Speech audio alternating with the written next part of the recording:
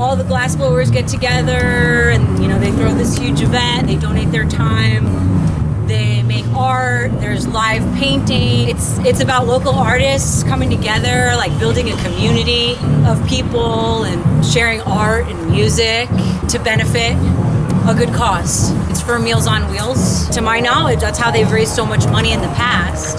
They raised like over $150,000 for